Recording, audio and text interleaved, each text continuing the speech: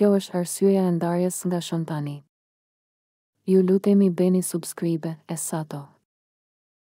Kushdo që është pjesë e platformës TikTok ose thjesht e hap aplikacionin në fjalë i ka parë së paku një herë Malsoren e Shantanin. Ata për një kohë relativisht të gjatë ishin një ndër dyshet më të njohura ndër shqiptarë në këtë rrjet social. Siç dihet raporti i tyre është krisur dhe Malsorja e Shantana më nuk krijojnë lidhje direkte. Këtu është arsyeja e ndarjes.